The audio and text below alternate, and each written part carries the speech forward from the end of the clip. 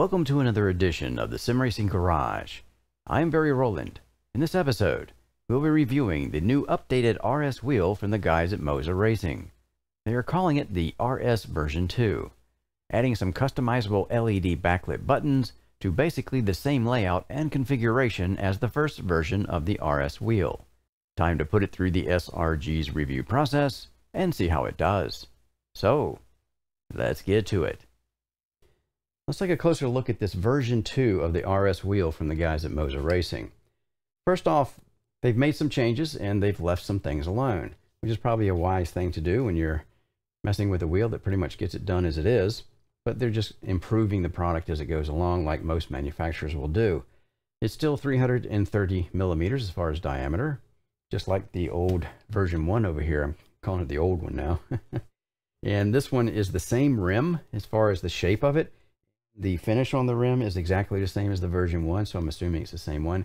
Again, this one is in leather. This one over here was in Alcantara. So, good grip. It feels pretty good in the hand. It's got thumb rest on it. It's got little places for your fingers to go, notches in the back. So when you wrap your hands around that, it gives you a pretty secure grip. I'm not a big fan of leather unless it's going to be well, we let a lot of people use your, letting other people use your rig a lot or your driving position a lot because it's easy to maintain. The Alcantara and the suedes are better in the feel for me. Of course, that's subjective at the end of the day. But yeah, it still gets the job done. Leather is, is less maintenance, though. It's less worry. So I kind of like it for that. But when you get real sweaty and long stints, sometimes it can get slippery depending on the type of leather it is. Stitching looks good on this. Can't find any defects anywhere pretty smooth everywhere I look.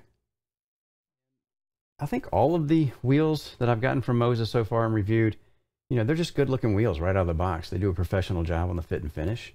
Everything looks good from the outside as far as the physical part of it. I don't find any defects anywhere, although I'll keep looking as we go through the review. So, 330 millimeter wheel, which is good for oval and rally and things like that. I don't like using these kind of wheels in GT, although you can use it for anything you want, obviously. Depends on what you want to do. But yeah, it's a hefty wheel, but it has a big NRG style quick release, and that's what all of the Moza wheels have because of the wheelbase system they have over here for that hub.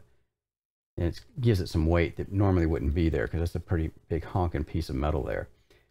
As far as the type of quick release, it's the same.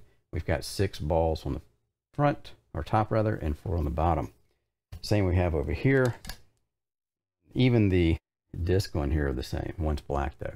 This is the black scheme and this has got the gold and the colors. And this looks like well, it's a lot more colorful, mainly because of the buttons.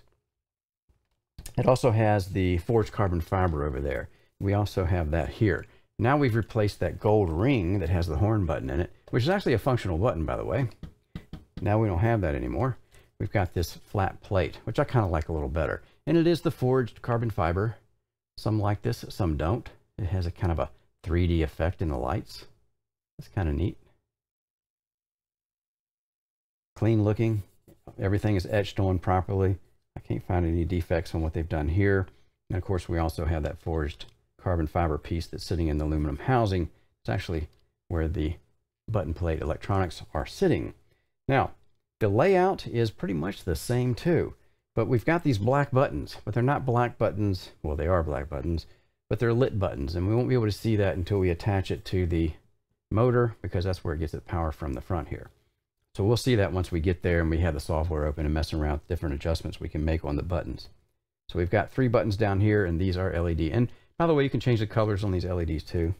We have rotaries. We also had rotaries there on the version one. Had a different handle on it though. And this kind and it was a push button. Good tactile feedback on this, good detent spacing.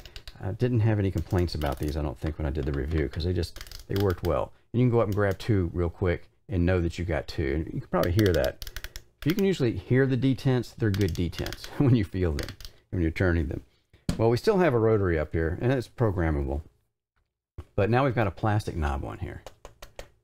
I believe those were aluminum. They sure felt like it but now they're plastic, nothing fancy there. But still, the notches are very good on this. I think it's a little louder on the other one because the aluminum handles on it transfer the sound better. But this plastic kind of mutes it a bit. And is a push button, just like that one is. So it's the same physical characteristics here, but just looks different because of the different thing that they put on here for the knob, little plastic piece. And again, these are easy to grab a couple of quick detents and come back because the detents have good spacing, at least for my use. And everybody's a little different. It's kind of subjective when you get this stuff. So yeah, it depends on what you like, but I don't have a problem with these. I'd like to see aluminum on here maybe, but other than that, you know, it gets the job done. So we've got three functions for each one of these, a push button and left or right. And depending on what function we assign to the rotary or encoder, what you want to call this thing. What else we got? We got two more buttons up here, just like the other one. The fact the top is exactly the same. But now we've got our LED buttons up here, and we still have these joysticks up here. And the joysticks have five moves. They got a left and a right. We've got an up and a down. And we've got a push button. But you can't turn it, so there's no rotary function here or encoder function. So it's still five moves there. And of course, we have these buttons up here. Now, the buttons themselves feel pretty much the same as the buttons over there. Nothing to write home about. No, not a lot of tactile feedback or anything, but it gets the job done. It is a, a decent stop. You know you pressed it because you can feel the stop. It's not a real stiff, hard stop, but still it's something I like to feel a little bit more tactile feedback when I hit a button, but I'm sure it gets the job done just like the other ones did. Going around the back, we have an aluminum housing here. We have some holes in there. Could be for cooling. The version 1 housing over there has the same hole patterns on it. Those holes, you can see where the wireless connection is. Remember, we get power for the wheel from here, but the communication for the buttons and the clutches and the shifters and things, all those inputs come over a wireless signal, right? Is for power. So if you look in this one, and I showed this in the review, I'm pretty sure, even when I took it apart and showed you the look inside, there is, I think you see the circuit board there for the transceiver. And you see those traces in there? They're kind of squared off there. They, okay, that's the antenna that's actually embedded, the traces of an antenna embedded into the transceiver itself. But Moza went the extra step and actually soldered in a antenna wire, two wire antenna wire, and then ran that down to this plastic window down here and taped it to that plastic window to give it a more redundant signal path. Make it more effective in the long run instead of just having it going through these holes here. Now here, they've gotten rid of that. Well, they haven't gotten rid of it, but you can't see it in there anymore. So it's gone. And they've moved the window. And now it's not shiny plastic, kind of a matte looking plastic there. No more window on the bottom. So a couple changes there noticeable. And also for the electrical transfer, I don't know if you guys have see, noticed this yet, but this actually has a vertical six pin configuration along with the original horizontal five pin configuration. And these are spring loaded electrical contact pins. So when we put this on the wheel, it makes contact and keeps contact with our pads over here that are transferring the power. Show you this one over here again. We had five there. Now the extra pins, probably for extra features coming in the future and power transfer. I did a review on their FSR formula wheel and it had the same configuration in it. But of course that wheel was sporting a 4.3 inch digital display on it. So that would take more power than just buttons lighting up buttons like this one does. And of course the RPM indicator up there. So more power, more current. So yeah, having more contact area on those pads here that are transferring the power would probably be a good idea for that kind of thing. And of course, just make them all the same so you don't have to pick and choose which of these assemblies you're putting on a wheel. They all do the same thing depending on the circuit board configuration back here on the button plate. And if you have a display or you don't, that kind of thing. What else we talk about here? The shifters. They have a good feel to them. Magnetic. I always like magnetic shifters. They have a little bit of bendiness to them. Watch that there. But they're pretty far out here. Uh, see, there we go. I can kind of push it there. It's a little, it's hard to really illustrate this in video, but there's a little bit of bendiness to it. Nothing offensive. In fact, it's just a, not as crisp as I would like it to be, but that's personal preference, obviously. So it depends on what you like. But yeah, it gets the job done. It's got a crisp feel to it, good tactile feel, but You know when you made a shift on these. There's no question, and that's the important part. These are all one piece housings here for the shifter and clutch panels. Of course, that's the clutch down there on the bottom. All Hall sensor setups, so contactless, if you will, for the mechanism, so it should give it longer life cycle. The clutches down here, they can be programmed to do different things. We can have it in a, a dual clutch mode, where we snap one off for the quick takeoff, and then we bring it in the other one and let it slowly out like on a motorcycle to get it fully engaged on the clutch and fully pulling the tires like it should. So it gives you that quick takeoff when you snap that out and it's not spinning the tires, but you're moving forward and then you can regulate it better here instead of just having one clutch as you pop. Or actually have to regulate the one clutch pedal. So these are programmable. We can make these a button too, and we can make it an analog. So it can do like throttle on one, brake on the other. So you can drive with no pedals if you want to, or if you need to. So yeah, overall, you know, I don't have a lot of bad things to say about this. I can't really see anything that stands out at all. I mean, like I said, it's kind of a professionally finished product right out of the box. So again, Moza does a good job with this stuff as far as presentation, right up there with the best in the sim racing manufact the mass manufacturing companies. So yeah, what else we get? You get your manual, you get a sheet of stickers. I never use these things, but there they are. And you can see some of them are shaped a little differently than others because of the buttons and rotaries that we can use them around. They have different shapes to them, so that's why they're shaped differently. Again, I just never really use those things, but each his own, right? We also have some spacers. Now, this is a GT wheel, and the reach is pretty good for me. Feels good. But for somebody with longer fingers or bigger hands, it might be too short. Get cramped in here with their big mug hand it's sitting in here, and knuckles are hitting it. So what you can do is, there's two things you can do. You take the two screws out, and it's hard to show the screws. You can see them hiding down in there, I think. So we take these out, and we can take the paddles and just put them on the other side. Now, these are not countersunk holes on here, so it doesn't matter as far as the orientation of the paddle. We have to flip it with the other one to get the flat side lined up like it should be. So you can just take it off and put it on the back and then reattach it. And that'll give you, looks to be about three millimeters worth, maybe four uh, more reach this way. And if that's not enough, they give you some spacers in here. These are 10 millimeter spacers, two holes in them.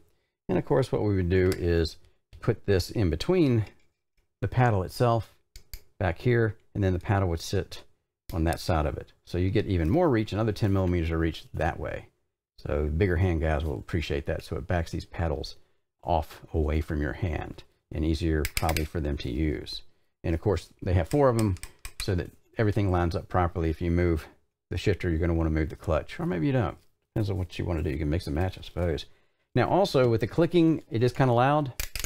I don't have any problems with that here at the SRG, but there's a lot of people who race at home or in their garage with, uh, you know, closets, whatever. it might be somebody close by that doesn't want to hear this constant clicking going on. So they give you these rubber bumpers and a wrench. It's a two millimeter wrench. So if you have another two mil, you can use that. And these are these little rubber pads in here. See how they're segmented so you can peel one off and give you enough. One, two, three. They give you five. So if you mess one up, you got an extra one. And you would put these in the bottom of this piece here of the shifter housing. Turn around this way. So where the magnet is on this side, you want to get underneath there and put them in there. So the return snap will be muted. It won't sound like that. It will have this part to it though, but overall it's going to be muted. It's not going to be as irritating. So it's nice that they actually think about that, that people complain about magnetic shifters because of the noise, but we love them because of the feel. so, yeah, you always a compromise, right? So yeah, that's it. That's everything that comes with it. We're going to go ahead and get the motor attached, get the wheel set up and pull up the software and see what we can do as far as programming buttons and things like that. So let's take a look inside of this RS version 2 wheel from the guys at Moza. We'll take a look at the back housing casement first. This looks to be a cast unit. Doesn't look like or feel like to me that it is a CNC machine unit, which is consistent with what I've seen so far. We do have some rather beefy standoffs here for support. And of course we run these bolts through here to connect to the back of our quick release. You can see the other side of that or the inside of that where the electrical connection is. We've got some, how many wires are they? Six? Yeah. So we've got some six lead wires in here with Molex plugs on them. And of course, they're servicing the pods back here that have our clutch handles and our shifters. They're attached by two bolts on the top and the bottom, or screws. A little bit small to be called bolts, I guess. And some hot glue to keep things from getting out of hand. And it looks like a little bit of electrical tape on there also. Yeah, pretty clean. This is the plastic window. Now this is actually sticky. Go ahead and turn this around. You can see how much bigger it is on that side. But the real space is right there. And of course, that's where the transceiver for the wireless communication is located on the circuit board. And we'll see that in a minute anyway. But yeah, a little bit sticky in there. I was assumed that that would not be sticky, but yeah, it's not going to hurt anything. Of course, we have the venting holes here. But on the version 2, we don't have the wireless transceiver sitting up in these holes. It's down here, obviously, where this plastic is. Well, let's take a look at this. This is the forged carbon fiber piece on the front. And it's about two millimeters thick. Of course, it's just a beauty ring, if anything. I do like the way this looks when it turns in the light, that 3D effect. And of course, it does the exact same thing on the back. All right, so let's look at the circuit board. And that's the front, obviously. And you can see on the front of the circuit board, we've got some capacitors here. These are 25 volt capacitors, 330 microfarads. Of course, that's part of the power circuit in here. We have an inductor sitting over here. And of course the power comes into this Molex plug here, and that would be plugging into the quick release itself that has the pins on it over here. Clean looking board. We don't have any complaints. This is consistent with what I've seen so far from Moza.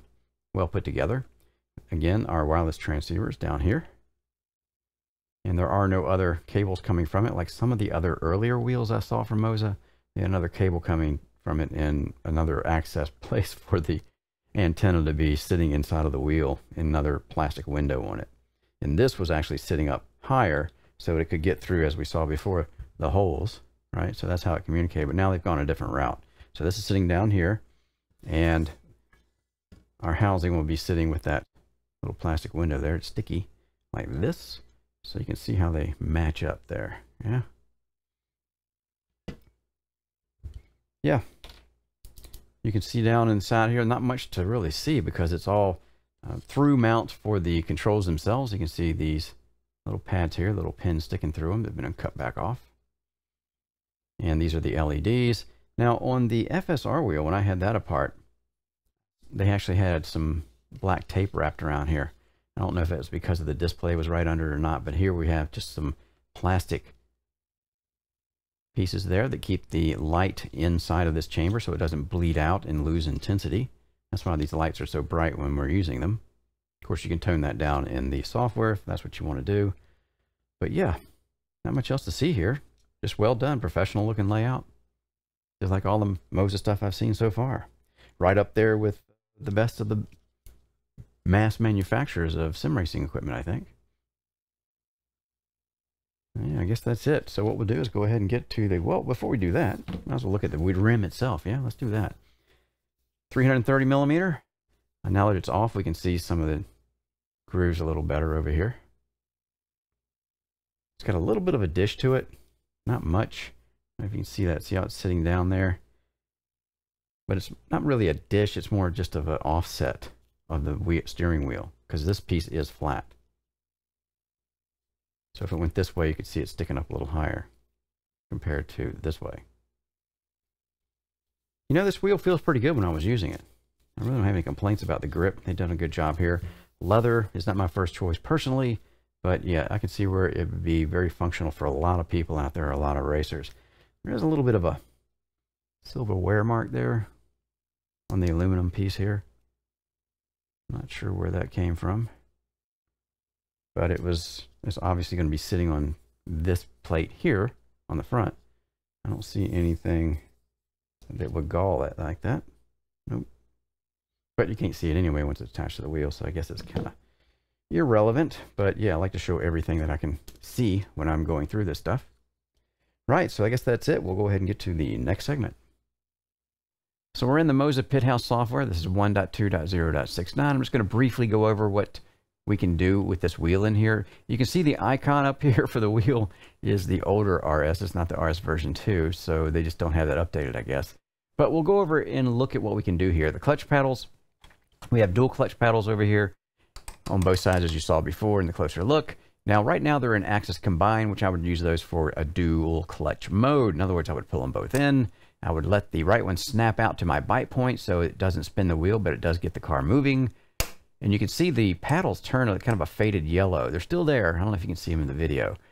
But then you modulate the left one as I'm letting it out slowly. And once it reaches the end of its stroke, it will show the paddles again. And actually that yellow gets lighter and lighter. You're not going to be able to see it though. I think in the video it's just too pale. But we'll see.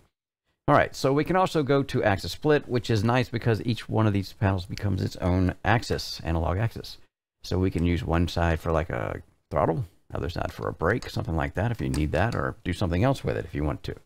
And we got button mode, which means we can map the clutch paddles to a button. Just by pressing the paddle, it'll be a button then. I'm going to leave it on axis combine.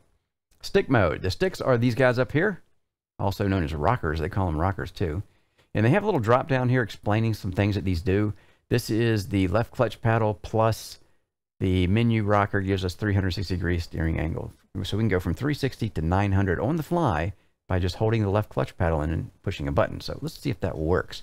We're going to need to go over here where we have steering angle. Right now I'm at 900. I'm going to pull the left clutch paddle in. You should be able to do this on the fly for whatever reason if you need to. And I'm going to press one of the encoders on the right side.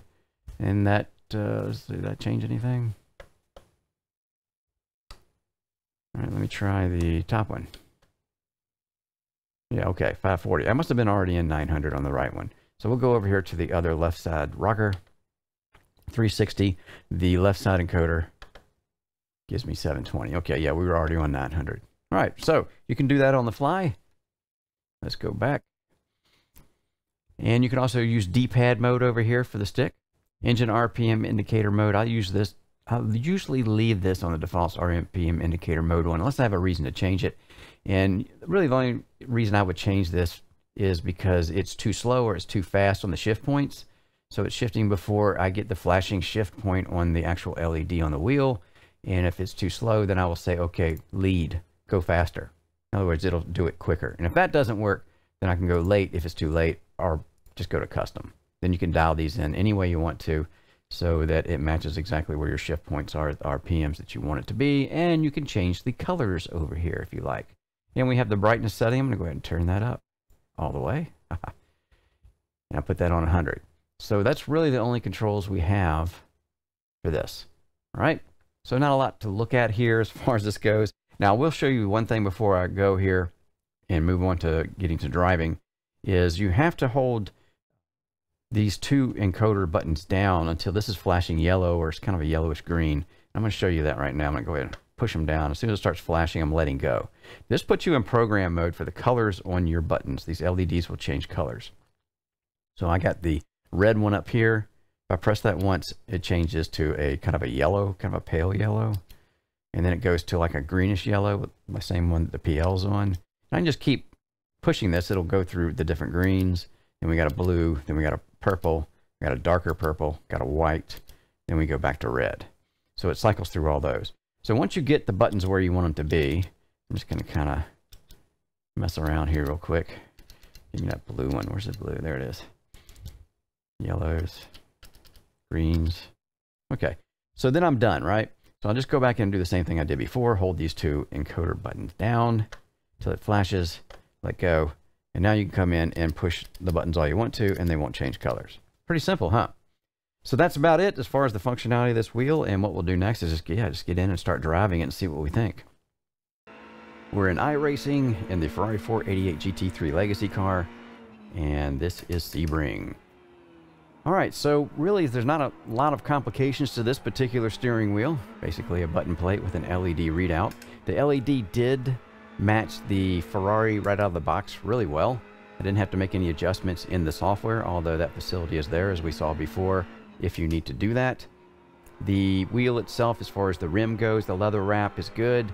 I couldn't find any defects in the stitching or anything, and it felt good in hand. Not too hard, not too soft.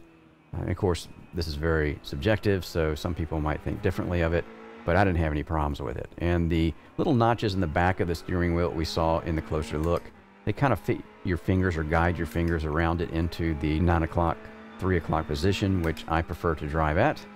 And yeah, so comfortable. I didn't find any fatiguing traits or characteristics with it on longer stints, so I can't complain about the rim at all. The wheel itself, as far as the buttons go, nothing to write home about as far as the tactile feedback you get from these buttons, but they do work nonetheless without any issues. I didn't have any buttons pressed that didn't work. The encoder's the same deal. Of course, we have a push button on these encoders also. Everything worked as it should. I do like the encoders, as I said in the closer look.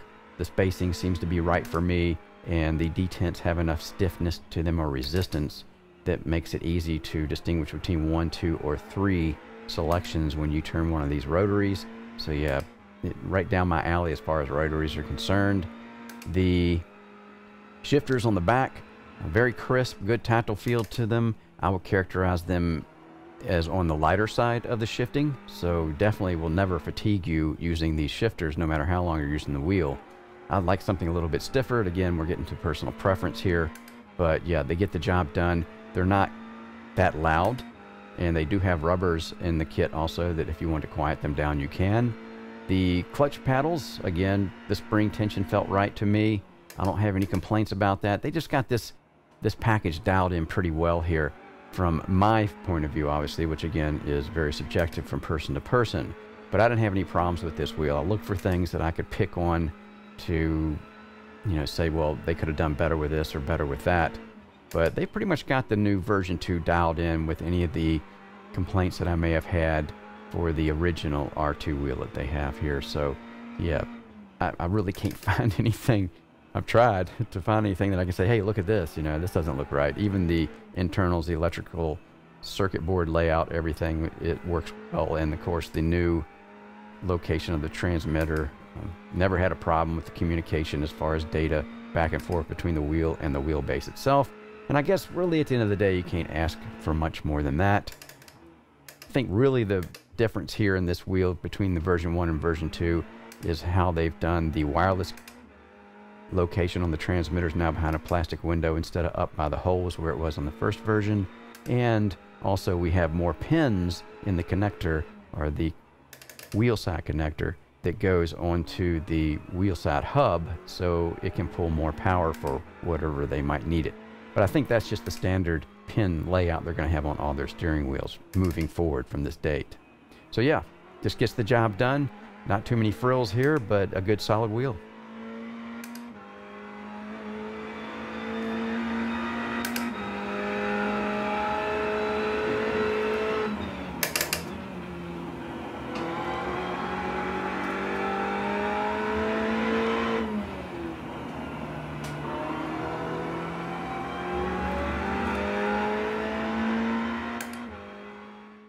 Final thoughts on the RS version 2 wheel from the guys at Moza Racing. Out of the box, this wheel presents as a professionally built unit. This RS has a smooth leather grip on the rim. It felt good in hand, and I could find no flaws in the stitching runs. I did find a wear mark on one of the aluminum spokes, located on the side that contacts the carbon fiber plate. The front cover plate and button plate are made from forged carbon fiber, which gives it a three-dimensional look under the lights. This new RS has the same button layout as the version 1 had. The changes come from the new backlit push buttons and a different knob design for the rotaries. The buttons don't have a distinctive tactile feel to them when actioned until you hit the stops. Still, they did get the job done without any issues during my time with the RS. I do like the way you can change the color of the buttons individually, with up to nine different colors. The front rotaries have a proper detent spacing and resistance, to make it easy to select the number of clicks you want without over or undershooting when actioned. They also have a push button function. There are two five-way rockers on this RS, just like the first version. Both the rockers and the rotaries are programmable in the Moza Pit House software application, where you can also set other features depending on the wheel you are using. The shifters also have the forged carbon on their paddles. There is a good tactile feel from the shifters when actioned. A bit light for my personal taste, but others might think they are perfect. They do make a loud clicking noise when actioned, as most magnetic shifters do. Moza does include a set of self-stick rubber dampers to mitigate the noise if you have the need. The clutches are spring tensioned and feel about right for my needs. Not so soft that you don't get a good feel for their throw, and not too hard where it is difficult to smoothly modulate them. The paddles all use contactless Hall sensor designs, which should give a good life cycle. On the look inside, we saw a professional looking circuit board that has a clean layout. The last change I noticed is there are now six more contact pins in the quick release hub than before. The previously reviewed Moza FSR formula wheel was where I first saw this, so it seems that this will be the standard moving forward. I had no issues with the controls or wheel comfort during my longer driving sessions with the new RS wheel, which is really no surprise as Moza decided to not mess with success here and added only some changes to it compared to the first version. I'm Barry Rowland. Thanks again for watching the Sim Racing Garage channel. Don't forget to hit the subscribe button. And if you would like to help support what I do here at the SRG, visit my website at simracinggarage.com.